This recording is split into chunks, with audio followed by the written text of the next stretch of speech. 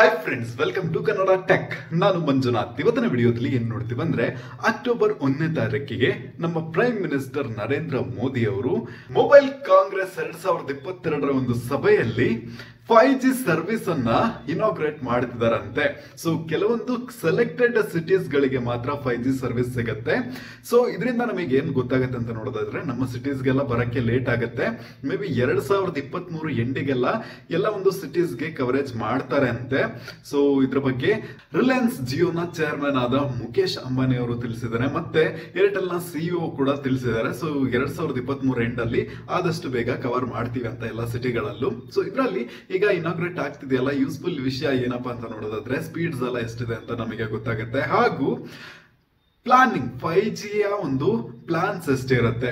Recharge ಪ್ಲಾನ್ಸ್ಗಳು so ಇದ್ರ ಬಗ್ಗೆ ಎಲ್ಲ ಅಪ್ಡೇಟ್ ಸಿಗುತ್ತೆ ಸೊ ನನಗೆ ಇನ್ಫಾರ್ಮೇಶನ್ ಬಂದಿದ್ದು ನಾನು ನಿಮಗೆ ಶೇರ್ ಮಾಡ್ತೀನಿ. ಸೊ ಚಾನಲ್ನ ಫಾಲೋ ಮಾಡಿ.